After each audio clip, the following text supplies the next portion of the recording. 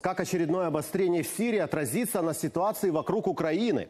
Наверняка вы сами видели в телеэфире, уже спекулируют. Усиление конфронтации Запада с Россией может отодвинуть украинскую тему на второй план. Эти заявления мы попросили прокомментировать Валентина Наливайченко, человека, который хорошо понимает мотивы и возможности западных политиков. Вот что он нам сказал. Ви знаєте, я переконаний, що насправді міжнародний тиск протидія російській агресії посилиться. І я, як ніхто, знаю, над чим е, керуються зараз наші міжнародні партнери.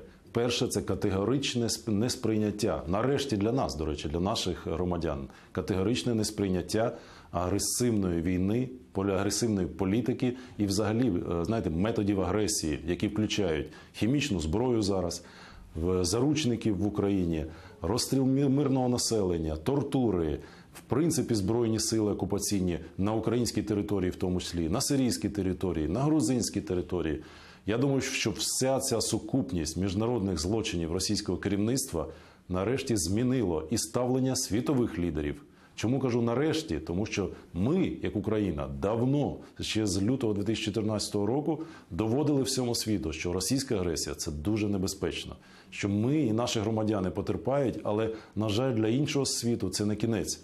Російська озброєна агресія і рішуча відсіч цієї озброєній агресії по всьому світу. Ось що я переконаний, зміниться і змінюється цим часом.